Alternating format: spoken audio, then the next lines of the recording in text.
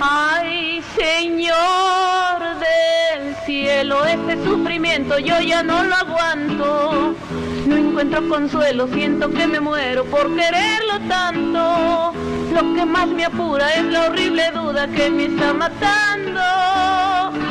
No sé si me quieres, si de mí se burla o me está toreando.